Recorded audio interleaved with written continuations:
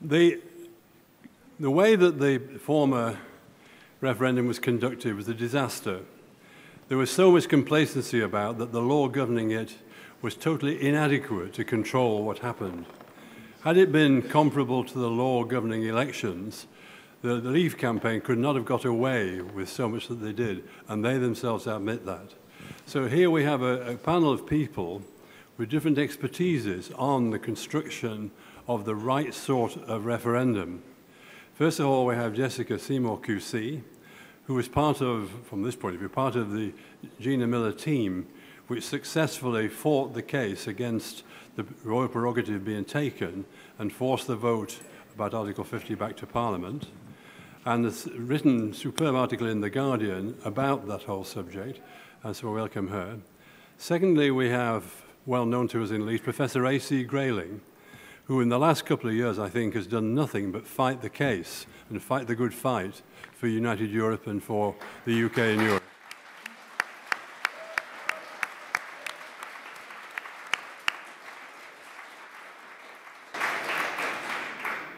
So always good to have applause before you speak, I think, yes. and the third panel panelist is uh, Paul Tyler, who has been a, a Liberal colleague of mine, uh, horrified to see for 54 years. And uh, he is a member of the House of Lords and is particularly concerned with constitutional business and the way you construct a, a proper constitution in this country.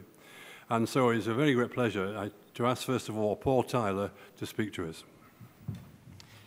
I'm going to stand if this works all right. Can everybody hear okay? No. Well, I'll sit down again. Let's see if that works better. Is that better? Good. I like to be able to see you. I don't care whether you can see me or not. Um, back in, uh, uh, in uh, January, we had the opening stages of the EU withdrawal bill in the House of Lords, and a highly respected crossbencher, somebody who really speaks with huge authority in the Lords, because he's the former clerk to the House of Commons, said this. This is Lord Lisvane.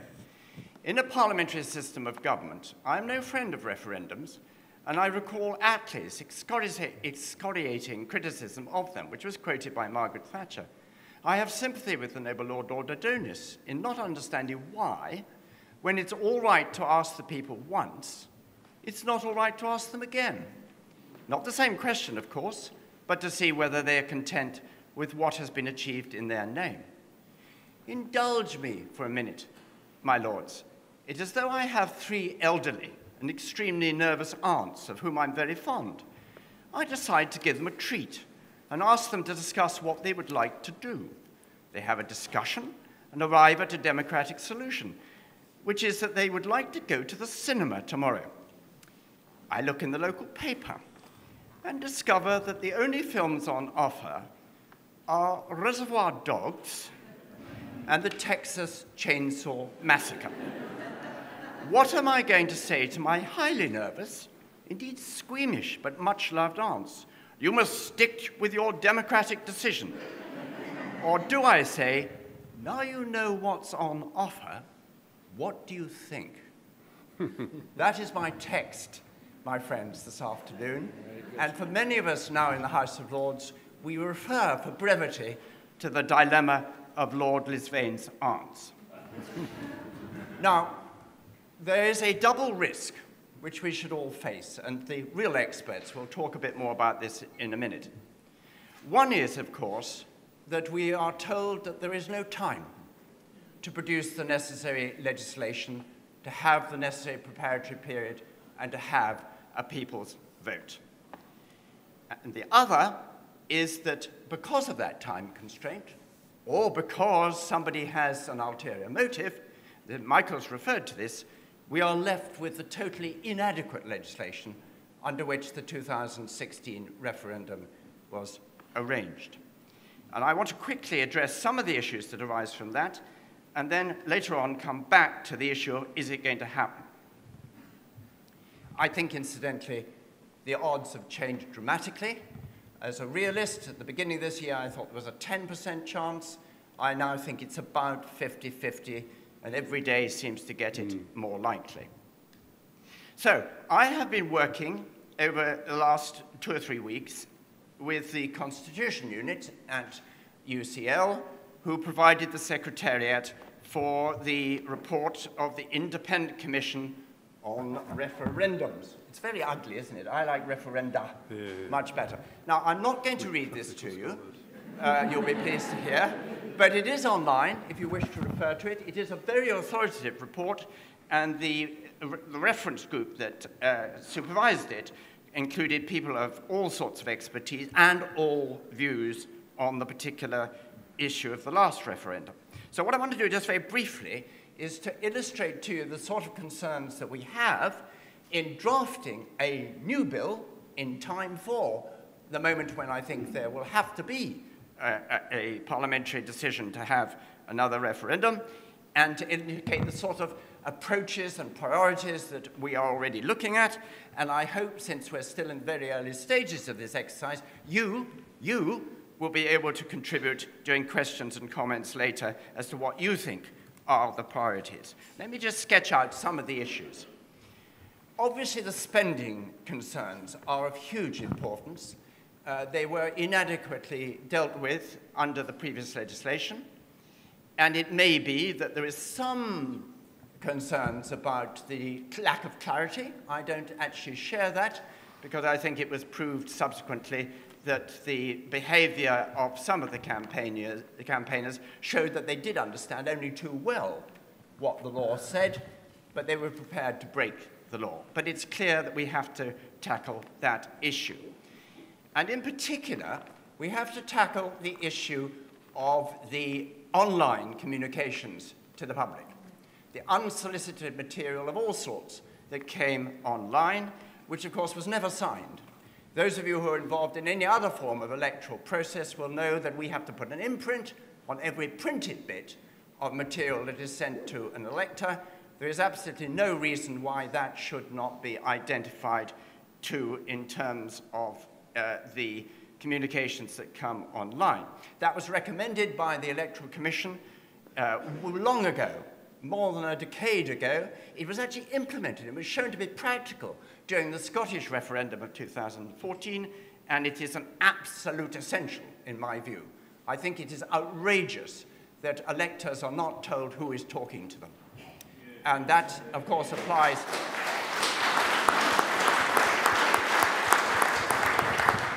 There is, of course, a link with the whole issue of restrictions on funding. There are clear rules against the investment in the United Kingdom's electoral process by foreign organizations and governments, and that must come out into the open. Transparency is absolutely essential if we are to get this right next time. It was not there in 2016, and it must be there next time. Every so often, ministers and others say, oh, well, it doesn't really matter because there's no proof that these communications have any impact. Oh, yes. Well, let me tell you that in 2015, the Conservatives spent 2.2 million, rising to 3.8 million on these materials. Labour spent slightly less than 370,000 uh, 370, in 2015, but well over 1.1 million in 2017. And the Lib Dems, of course, too poor, but they still did their best. It was more modest. But, most significantly, the Remain group spent 3.9 million on the referendum, and the Leavers 4.5 million on this exclusive online communication. Now, if that was worthless, if it didn't have any impact, if it didn't do any good, if it didn't persuade anybody to do anything, somebody was wasting a one hell of a lot of money. and I think, therefore, the argument that this doesn't really matter does not hold water. So we will be looking very carefully at ways in which we can make that truly effective. The Constitution, uh, the the Constitution Unit and uh, the uh, Commission had a whole number of concerns about being fair to both sides. I want to be fair to the electorate, to the citizens of this country. I'm not in the business of the sort of false balance that if some of the proposals that we put in this draft bill seem to be more careful in terms of dealing with the past behavior on one side and the other I don't believe that's the issue. You may have seen today that the BBC has at last admitted that they have given up on false balance on the issue of uh, climate change. You know, if every scientist in the world is convinced that man-made uh, climate change is a real problem, and Lord Lawson is the one only other person on the other side, that somehow you've got to have him into the studio every time there's any concern on that issue. Well, I don't believe that, and I don't think it should be the case here. Surely what we should be doing is to make sure that the actual process of asking the public their views is as fair and as balanced and as legal as we as citizens and Parliament have decided it should be. So on those circumstances, I think that it's very important that we should deal with that on that basis. And one other issue, yes, it would be good to extend their franchise. I successfully uh, steered through the House of Lords the extension of the franchise for 16 and 17 year olds for the EU referendum, only to have it stopped by the government in the House of Commons. Similarly, one of my colleagues did the same for uh, UK citizens in the EU. I think that will have to be a second stage part of this process, because if we put it in at the beginning, it will be such a change from 2016, it will be thought not to be a comparable result. I should be very interested to hear what you've got to say, and indeed others have got to say. So that gives you some indication of the way in which our thinking is going. But this is the last point I want to make to you. On Monday, I asked a question of a minister in the Lords on these issues, and I asked, does the minister not recognize that these challenges to which reference has been made are particularly relevant to a referendum campaign, as we've learned to our cost? Given that there is obviously now no potential majority in the House of Commons for any Brexit outcome of any sort, there's an increasing likelihood of the necessity of going back to the public and having a people's vote. What steps should or can now be taken, at least look at the recommendations of the Independent Commission on Referendums and the recommendations of the Electoral Commission, uh, so that we can have some legislation in place if and when we have another vote. And the minister said, I agree with the noble Lord that we should be prepared to deal with these issues. There is no prospect of any of the current options receiving a majority in the House of Commons. In those circumstances, the likelihood that we're going to need another referendum is, I think, absolutely certain. Thank you. Thank you.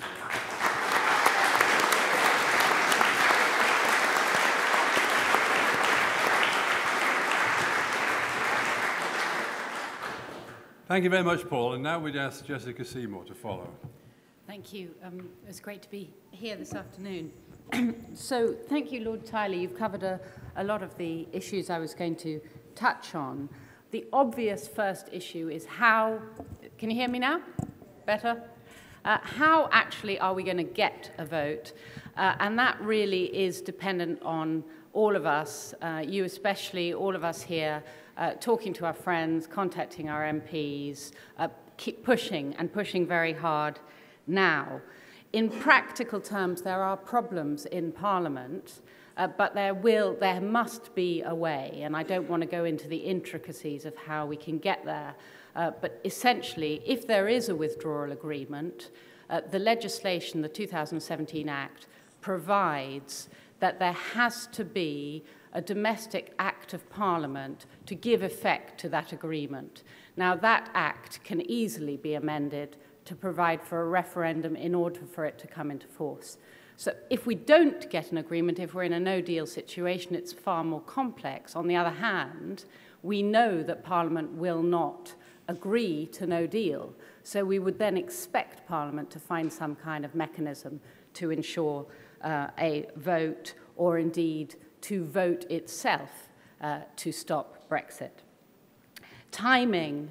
Um, the Constitutional Unit report, which is very useful, and they've also tweeted out their sort of flowchart of how we get there, uh, says, uh, and actually I think it's an earlier blog, but it says that if the legislation is not laid before the 8th of October, or rather, if it is laid on the 8th of October, uh, then we would have a referendum on the 28th of March. And that's because of the parliamentary um, and, and legislative controls on periods required within the referendum. So we're talking the day before uh, Brexit. Uh, and therefore, there is a time problem. And the reality is, we would have to have an extension of time from the EU, but the general consensus I've heard, uh, I know nothing directly, is that that uh, could be possible or would be possible. On the franchise issue, um, there are three, I think, major issues on franchise. One is those British citizens living in the EU for more than 15 years who never got a vote and are, who, are, who are massively affected by Brexit. I mean, they may lose their uh, health care, their pensions are affected, etc. Now, um, there, there's that group, there's the younger voters, and then there are EU citizens here whose home is Britain. They were also excluded. I agree that there is a problem to push for any different franchise uh, because ultimately, if uh, Remain succeeds on a subsequent vote, we have to uh, accept and realize that it needs to look fair. Uh, and it might be said, well, it can't be fair, although there'd be a good argument against that. Uh, so I think we may have to just accept that uh, we're going to have a, a, referendum that was as inadequate as the last one, if we're going to get one at all. Then there's the question do we have a three way question or a two way question? Um, then there's the spending issue, and I'm actually involved in the case against the Electoral Commission that led them to reopen the investigation into uh, Vote Leave and Leave.eu because they'd closed investigations twice into that spending, and it was as a result of that challenge that they reopened it. But there is a pending issue in that case. Uh, in which we've been waiting now for three months on a judgment as to how the legislation works in terms of donations between campaigns. So that's another important spending issue uh, because the Electoral Commission told campaigns, or rather told at least the Vote Leave campaign, that it was perfectly fine for Vote Leave to give um, goods and services to other leave campaigns without accounting for the costs of those goods and services. And that included expenditure on AIQ, which was the data analytics um, firm that was used. And then there is the very important Facebook uh, dark ads um, data analytics point. And I would be surprised again if this is solved in time. So we may, putting a pessimistic line on it, we may end up with a, um, a similarly inadequate vote. But I think we just have to push for a vote now and um, deal with that when we get to it. Thank you very much.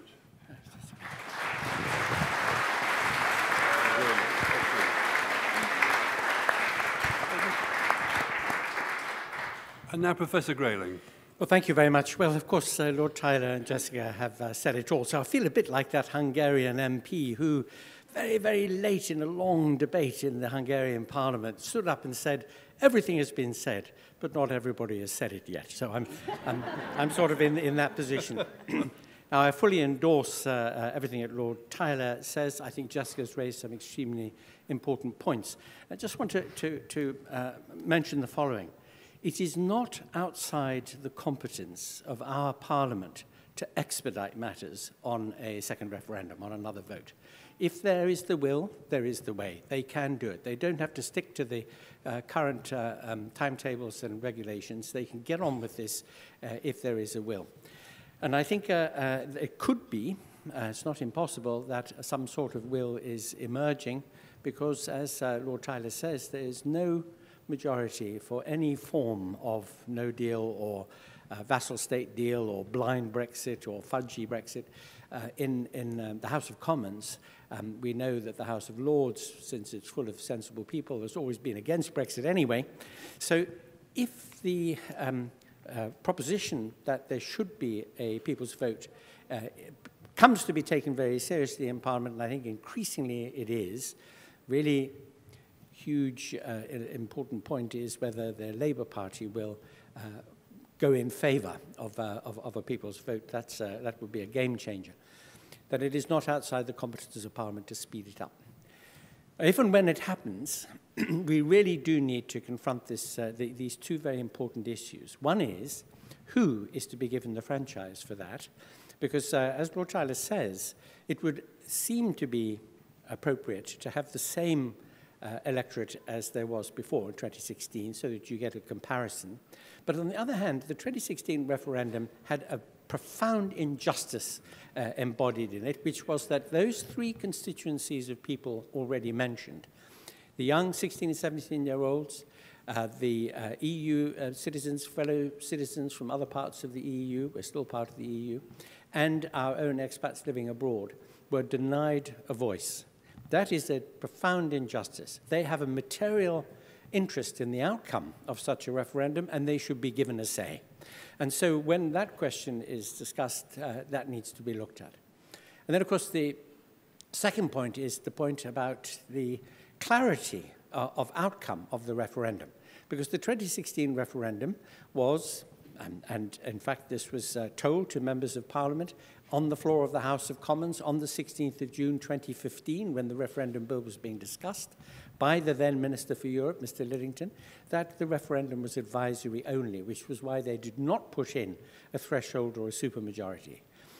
This is unacceptable because if you think about the fact that 37%, only 37% of the total electorate, that restricted electorate for the 2016 referendum voted to leave, and it was treated as mandating by the government of the day, whereas it takes a 40% vote of the total membership of a trades union to have a strike, and a 66% majority of the House of Commons to have a dissolution of Parliament outside the terms of, of a, a Parliament.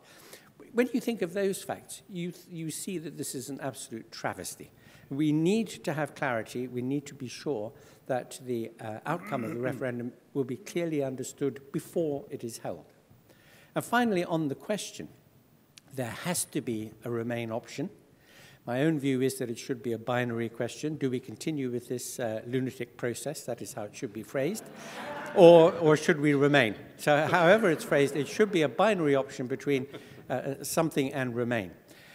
I think that we should press for this. We should work extremely hard to make this happen. We should press Parliament to get on with it, to uh, you know, act as it can. It has plenty of discretion to, to expedite this, uh, and to include all those people who have a real interest in the outcome because it affects their future and their well-being. So I think we should go for this. We should, we should press it. Now, people will say, what can we do to help? And I'll end on this point. We were told just the uh, other day by um, a, a very distinguished uh, member of parliament what works in the way of uh, pressure on MPs. And MPs, as you know, on the whole, there are some very good MPs, but on the whole, they're a pusillanimous lot. And what they tend to be most nervous of is public opinion going against uh, what, what it is that's, that's happening in Westminster. Write to your MP is the usual advice but it is very good advice because when MPs get lots and lots of letters on a particular subject, it does begin to make them nervous. And what we should be doing is making them extremely nervous. You may have heard that MPs will say to their staff, if you get the, a letter from the same, or, lots of letters from the same person on the same subject, just bin them. My response to that is to say, make their bins overflow constantly, and eventually they will start to get the point. But we're told We're told that MPs will, will uh, um, not really pay as much attention to people outside their constituencies as people inside their constituencies for very good reason. So you must pester your own MP, but you must also pester all your friends and relatives and business contacts and everybody you know in other constituencies to do the same thing.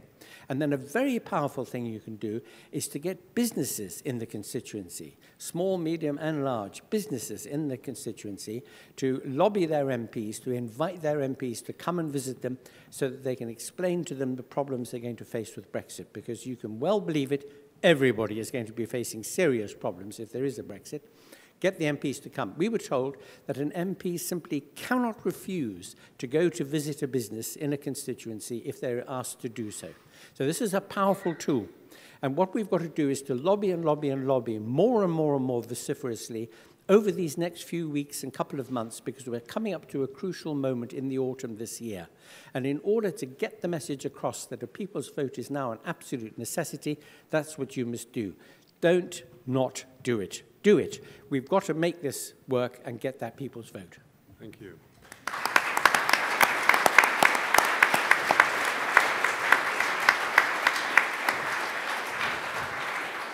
Well, thank you to our three speakers. Now it's over to you. We have a colleague here with a, a microphone, so when you indicate, he will rush to your aid. If a question you want to ask is directed to particular one of the three speakers, say so. Otherwise, we'll uh, attempt to move it round the table. Who was the first questioner?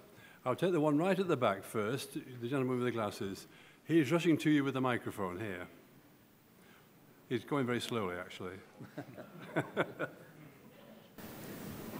Julian Rowan from uh, Sheffield Europe, Europe. And uh, my question is, um, I may be in the minority here, but I have a fear there will be a deal, and it will be a rubbish deal, and it will mean that the lights will stay on next March, but there will be a period of precipitous decline in this country. My concern is how do you think Parliament will react to such a deal? Could, could I speak to that? Of course, yes. Yes, I, I think that's a very good point because uh, um, in, indeed we already see the straws in the wind on this. Firstly, all this talk about a no deal and stockpiling and Operation Yellowhammer is just to frighten everybody into accepting any deal that, that is a deal that isn't a no deal. So we mustn't be.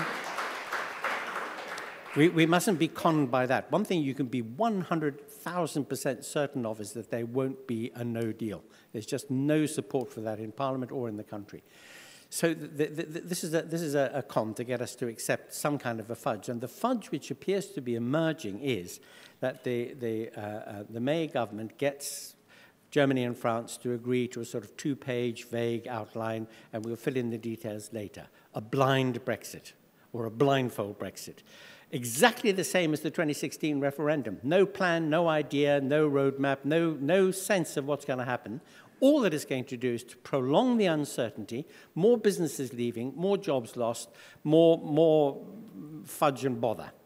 And we won't give up fighting either. So this, this uh, uh, you know, problem that we have in the country now of it being divided and unsettled will continue and perhaps worsen.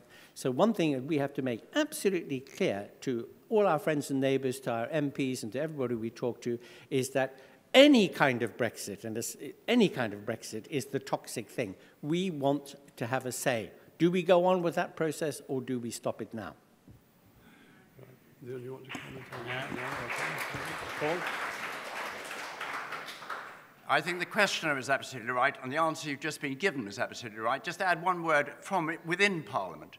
There is no majority in either House of Parliament for that sort of cross uh, uh shortcut because it would be a disaster for the reasons that have just been explained. But the time is in, uh, is in the next week or two. It is really, really urgent now because the so-called meaningful vote that is due to take place in the House of Commons, and we'll have a vote in the House of Lords, it'll be up to you to say whether that's meaningful or not. But in due course, MPs are going to have to decide whether they're being given a genuine choice on your behalf, and it's up to you to make sure that that is a genuine choice. Thank you. Another question. Can we come forward to the lady here, please? That's right there. Hello, Caroline Kenyon. I'm the Liberal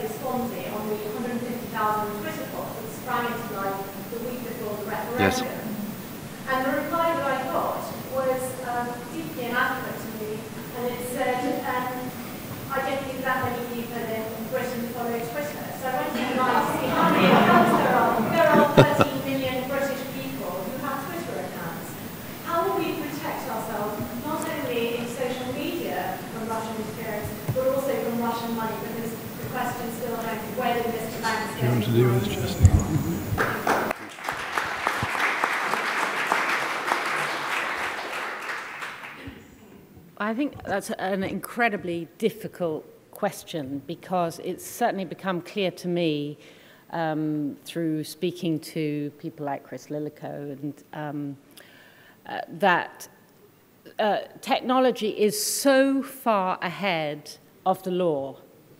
And uh, he said to me, look, I speak to MPs, I speak to um, policy people, people in the ICO, Information Commissioner's Officer. They haven't a clue how this stuff works. Uh, so essentially, we are really dependent on GCHQ for, for this. I mean, they're the only people who are really going to understand how this all works. Uh, the DCMS have produced a, a first report, you probably saw it, produced in July, which is an ex, you know, extraordinary report, 80-page report. There is also the Mueller investigation coming out. Uh, but in terms of um, another vote, uh, I, I actually have no idea how we can protect ourselves technologically from this. Um, I think that ultimately is a, uh, an issue for our security services. Just very briefly to add to that, the select committee to which uh, Jessica has referred has done some very good work on this, and so has GCHQ. I think what's most interesting is what the Irish government did for the recent abortion referendum, where they say, they claim, that they were able to exclude, with the help of the various platforms, all foreign interference. Now, whether they actually did, I don't know. We'll have to look at that very carefully. But if it can be done, they look as if they've made a very good stab at it. Yes, I mean, one, one of the very, very, very few good things to come out of all this is that we know that it happens. And so it's kind of armed us against it. And uh, uh, as uh, Lord Tyler just says, there are some technological things that can be done, but also awareness on the part of people that this is the case. And by the way, it's terribly important uh, to, to be informed about how just how this works. Because, um, as you'll be aware, in any vote, in any election, any referendum, there's going to be two blocks of people, you know, one for, one against, one yes, one no, one in, one out. Um, and these uh, uh, elections and referendums are won on pretty small margins, and rather small numbers of people changing their mind and moving one way or another. And it's those small groups of people who are very, very expertly identified by the pattern of their behavior on, in, the, in cyberspace and who are targeted with these messages. And so it's really important that, that we should be able to, to, to counter that in a variety of ways, especially with information. The second uh, thing I'd add here, by the way, is not just the internet, not just cyberspace, but I think betting on the outcome of referendums and elections ought to be outlawed because in the case of the, of the 2016 referendum, all the betting companies were saying it was over an 80% certainty that, that uh, Remain would win. And that kept some people at home. You know, if, you, if you're a psephologist and you know about voting behavior, you know that if it rains in a constituency on polling day, that the turnout in that constituency will drop by a very predictable percentage amount. In London, it bucketed with rain the whole day, on 23rd of June 2016. The drop in the turnout in London alone was larger than the margin by which Leave won. And so it's terribly important that we alert people to the fact that they mustn't be dissuaded by betting and polling and so on uh, to, to think, well, one side is going to win, so I'm on that side, but I don't need to vote. Or we make sure that our supporters are more waterproof than theirs, I suppose. Another question, please. Let's come further forward again. This gentleman here, that you, yes. The microphone is arriving rapidly.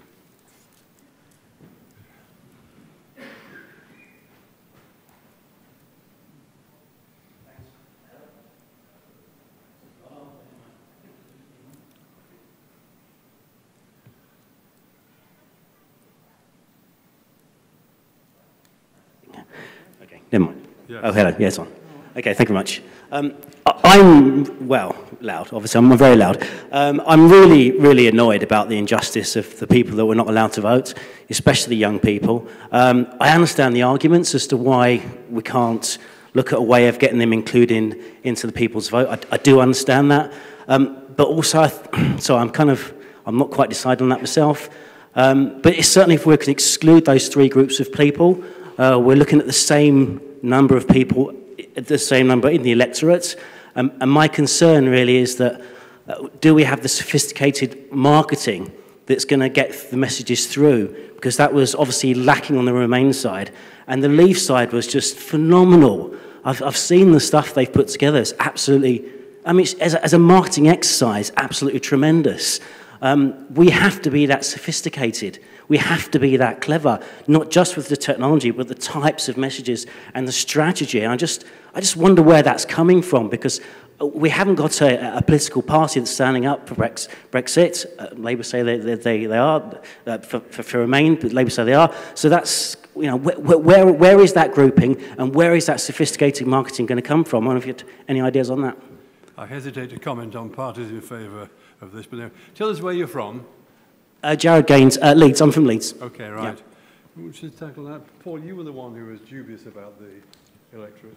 No, I'm not dubious about it at all. Uh, what I was simply I, I was trying to explain is I thought we ought to start with a draft bill that deals with what is absolutely clear to everybody just did not work in 2016, and then we can amend it if we feel, Parliament feels, that, for example, the franchise needs to be extended to those who are most affected. I don't know whether it's the case with other people in this room, but the day after the uh, referendum, I was uh, uh, emailed by my great nephew. I'm so old that I have a great nephew who is a voter, who said, Your generation have sold my future. And thereafter, I developed the rather, I accept, maverick idea that everybody should be allowed as, as many votes as the actuaries say they are likely to have in terms of additional life beyond the date of the referendum. Yes. Uh, now, that perhaps is taking it to a, a slightly absurd degree, but as I said earlier, we did in the House of Lords put in 16 70-year-olds, and it was taken out by the Commons. We put in EU citizens in the UK, it was taken out by the House of Commons, and I am not sure whether we won on the, on the uh, UK citizens in uh, the EU, but we certainly had a good go at that, and it was taken out by the House of Commons.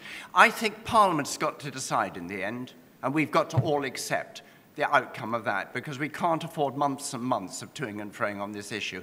And it's so important to have better legislation in place better, but even if it's not perfect, better, that I think we cannot afford to let this drag on too long. So draft will go in, I think, so I'll see what my colleagues in other parties say when we look at this, without a major change to the franchise, but we will anticipate there will be amendments in both houses of Parliament to, it, to increase it in the way that you would prefer. You were going to comment, Jessica, is that okay? Are you going to take another question? Maybe not take another question. Come forward, will you, with the mic to this is there a lady there? I think I can see. There you are. Sit down. A lady. This session is entitled The People's Vote Doing It Properly.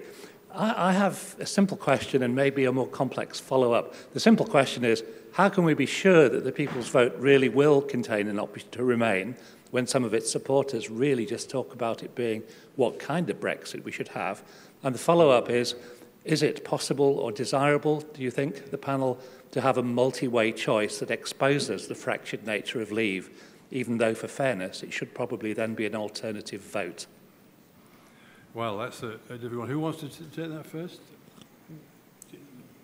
Um, shall, I, shall I have Go a, yeah. uh, so, uh, in terms of uh, how can we be sure that it will contain a, a, a vote to remain, um, we can't be sure of anything, and I completely agree with you. My, my view is that we should only be discussing two things uh, Brexit or no Brexit. And I think that the no deal thing is a, a stalking horse. It's, it's just to make a situation where we're between uh, a blind Brexit and no deal. Um, and that's not on. But I do think that the people's vote eventually is going to have to come out on that and has not done so yet. And, and I myself find that frustrating. Um, on the multi-way choice, uh, very difficult. It would obviously have to be possibly a two-stage referendum or a, a counting, uh, a value counting. Uh, and it would assist the Remain and therefore have accusations of being unfair. So I suppose that would be the problem uh, in it. Yes, I'm, I'm emphatically of the view that it has to be binary, that a, a multi-way referendum will just introduce a lot of confusion and, and you know, uh, uh, fudge. We can't do that. We must have a binary uh, vote on it. Uh, but I also think, uh, however, that, that um, the, uh, the, the, the real danger that we face is that people get exhausted with the whole Brexit debate, and then some sort of fudgy two-page, let's kick it down the road kind of semi-Brexit happens, uh, and then and then you know we're just stuck with uh, the problem we've already identified. I have to say that um, the the demand that there be clarity and something definite, so that we know exactly where we are, even if even if it were to, to, to turn out, which I very much doubt, that people say, I vote to continue this process. Let's, let's delay Article 50 again. Let's, let's give ourselves another couple of years to work out what exactly a Brexit would be and so on. Even if people went down that road, um, it would be better than, than the situation we're in now. And it would play into the fact that the demographics are changing dramatically in favor of Remain all the time. 1.3 million people have turned 18 since 2016, June 2016. A, a, slightly lesser number of people have um, popped their clogs, as we say up here in these northern fastnesses, since that time. So we can be reasonably sure that as each moment ticks by, so the Remain majority grows. But it would be so much better if we had clarity, even better still if we were to stop Brexit. Thank you very much. I, I fear that it has to be the end of this session. I wish we could go on for another hour. There's a lot more to be said. But I want to thank our speakers very warmly. They've all trekked long distances to be here. The, the lady who commended them for their stalwart support of uh, United Europe, I think is endorsed by everybody. And we thank Professor Grayling, Jessica Simor, and and Paul Tyler. I ought to say after this now that Paul and I are members of the, the Whips Club from Parliament, and you can always rely on the Whips to get the right thing through. So I hope that will happen. But thank you very much for your participation. Thank you.